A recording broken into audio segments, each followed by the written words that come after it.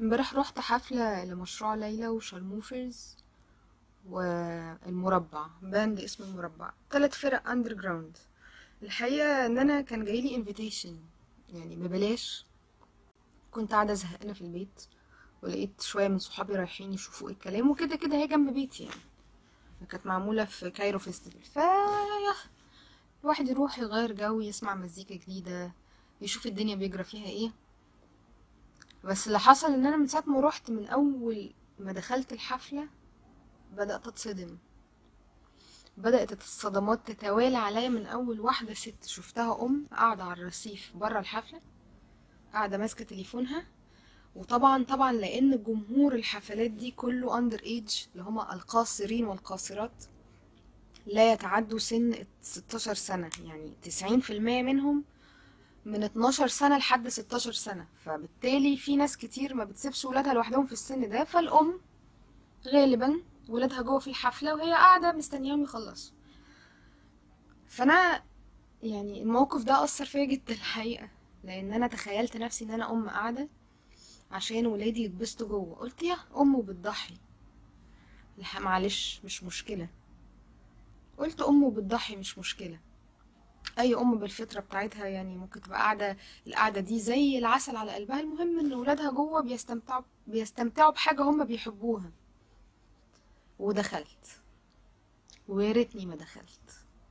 زي ما قلت لكم 90% من الناس القاصرين والقاصرات الجمهور.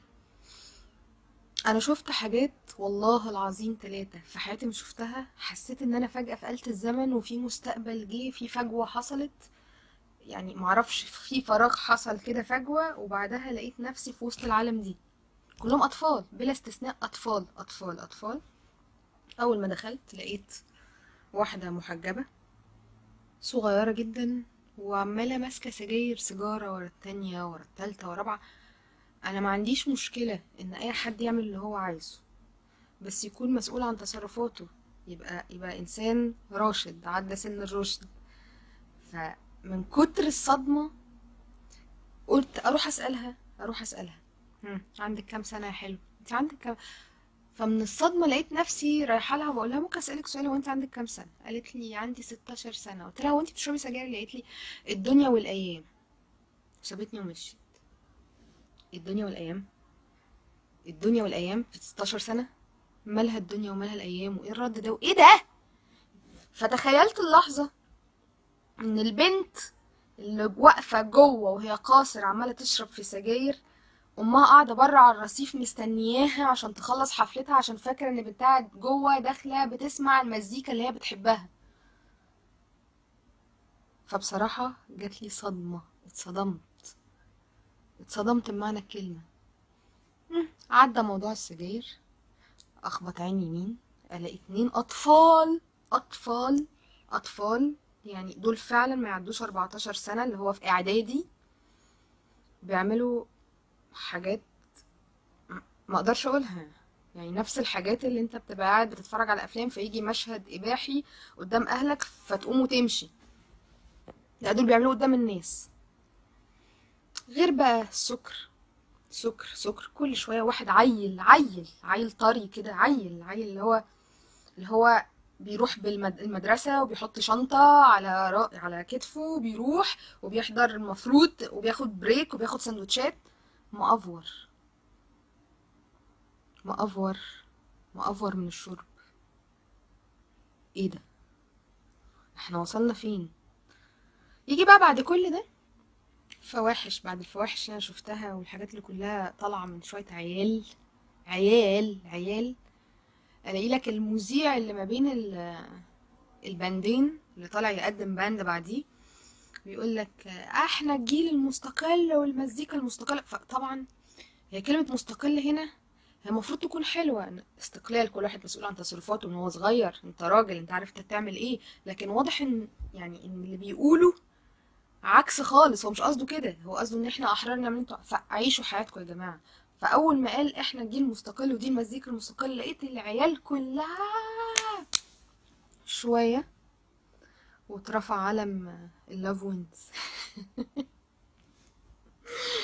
فجأة العلم بتاع المثليين اترفع علشان اللي في بيغني في ال band هو مثلي فهم بي support اللي هو إحنا عارفين إن أنت شاذ لا مؤاخذة بس إحنا بنحب مزيكتك. أبص على اللي رافع العلم ألاقيه عيل العيل ده يعرف إيه عن المثلية عشان يرفع العلم؟ أنتوا أنتوا أنتوا أنتوا عايزين تعملوا إيه؟ يعني والناس اللي عمالة تدافع على ال social media 24 ساعة إحنا احرار مش عارف كل واحد حر كل واحد مستقل مادام مش بيأذيك هو انت عايز تغير المجتمع على مزاجك؟ بكيفك هو؟ بكيف في حاجة اسمها دين؟ التلات أديان حرموا حاجة زي التلاتة. فانت عشان تبقى متطور وروش طحن الله يا جماعة كل واحد حر. في إيه؟ إيه الهبل ده؟